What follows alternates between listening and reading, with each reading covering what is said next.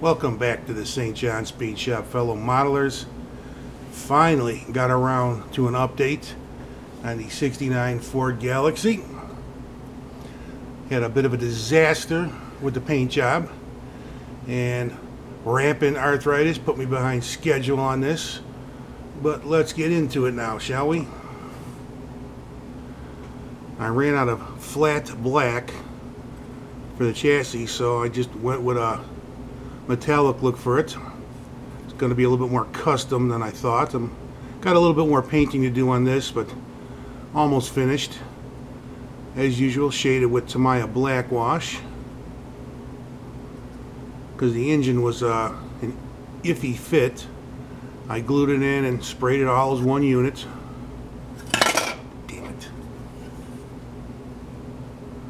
That's looking good.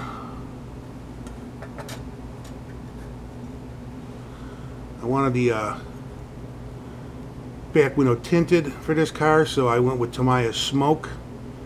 Now, you can see when there's light coming through this, it looks like it was sprayed. But once it's that's eliminated, it looks like tinted glass, which is pretty nice. The smoke stuff works pretty good. I'm happy with it. Two-tone Tamiya blue and black for the interior.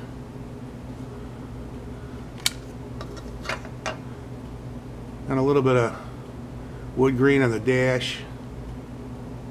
Kind of hard to get to the chrome trim on there without screwing everything else up, so I'm not going to bother with it. That's not too bad. I really like the rims. These came out. I uh, clear coated them with Testors dull coat.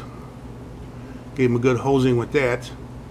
Then used Future floor polish on them to give them a stainless steel look. And then went, with flat black for the interior. I really like how those came out. And these actually wouldn't look too bad if I dry brushed some metallic in there over the raised edges. But I'll save that for another build. And in the meantime, I was playing around with this. That's two coats of Tamiya clear blue over the chrome spokes on these rims. and it's kind of sharp looking. I'll test fit them on the car, see what it looks like, but just playing around. On the body, I had absolute disaster with.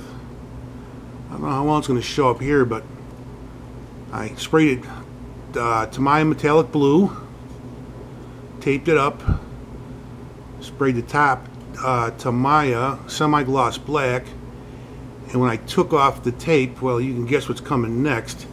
I peeled off a lot of the paint. I've had that happen before when I use a silver base coat, but never this extensive. And Tamiya tape didn't take any of the paint off, but masking tape did.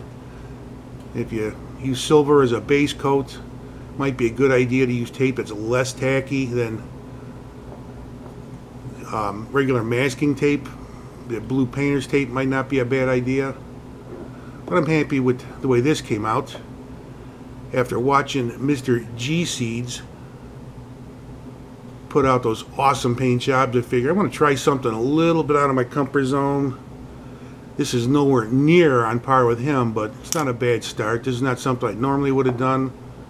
It's based on something I found online, except the blue was a bright green, and I've a couple of recent builds I used green on, so I wanted to get away from that for this build.